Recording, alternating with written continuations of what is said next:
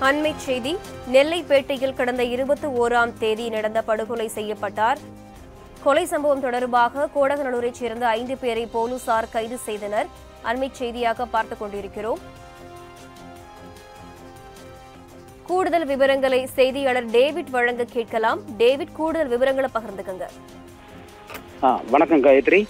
திருநெல்வேலி அடுத்த சுத்தமல்லி அருகே உள்ள நடுக்கல்லூர் பகுதியைச் சேர்ந்தவர் நம்பிராஜன். இவர் நேற்று முன்தினம் நெல்லை பேட்டை பகுதியில் பணிக்கு சென்றுவிட்டு வீடு திரும்பும்போது போது மோட்டார் சைக்கிளில் வந்த ஐந்து பேர் கொண்ட கும்பல் அவரை வெட்டி கொலை செய்து தப்பி ஓடிவிட்டது. அவரது உடல் தற்போது நெல்லை அரசு மருத்துவமனையில் பிரேத பரிசோதனைக்காக வைக்கப்பட்டுள்ளது.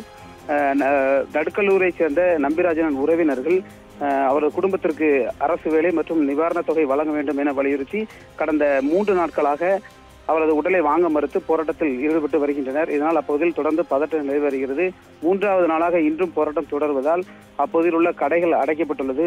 ஏராளமான வெளிமாவட்ட போலீசார் அங்கு குவிக்கப்பட்டுள்ளனர். மாவட்ட எஸ்பி சரவணன் தலைமையில் போலீசார் தொடர்ந்து பாதுகாப்பு பணியில் ஈடுபட்டு வருகின்றனர்.